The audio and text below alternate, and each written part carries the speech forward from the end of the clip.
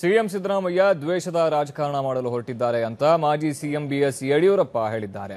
ಅಕ್ರಮ ಡಿನೋಟಿಫಿಕೇಶನ್ ಹಿನ್ನೆಲೆ ಎಫ್ಐಆರ್ ದಾಖಲಾಗಿರೋ ಬಗ್ಗೆ ಪ್ರತಿಕ್ರಿಯೆ ನೀಡಿದ ಬಿಎಸ್ವೈ, ಹತ್ತು ವರ್ಷದ ಹಿಂದಿನ ಪ್ರಕರಣಕ್ಕೆ ಮರುಜೀವ ನೀಡಲಾಗ್ತಾ ಇದೆ. ಆ ಮೂಲಕ ನಮ್ಮ ಹೋರಾಟವನ್ನ ಹತ್ತಿಕ್ಕೋ ಪ್ರಯತ್ನ ಮಾಡಲಾಗ್ತಿದೆ ಅಂತ ಹರಿಹಾಯ್ದ್ರು. ಇನ್ನು ಇದೇ ವೇಳೆ ಮಾತನಾಡಿದ ಅವರು, ಇಂಥ ನೂರು ಕೇಸುಗಳನ್ನು ಹಾಕಿದ್ರೂ ಕೂಡ ನಾವು ಹೆದರೋದಿಲ್ಲ. ಕಾನೂನುಬದ್ಧವಾಗಿಯೇ ಡಿನೋಟಿಫಿಕೇಶನ್ ಮಾಡಿದ್ದೀನಿ. ತಮ್ಮ ಸರ್ಕಾರ ಅಧಿಕಾರಕ್ಕೆ ಬಂದಾಗ ಇದಕ್ಕೆಲ್ಲ ಉತ್ತರ ಕೊಡ್ತೀವಿ ಅಂದ್ರು.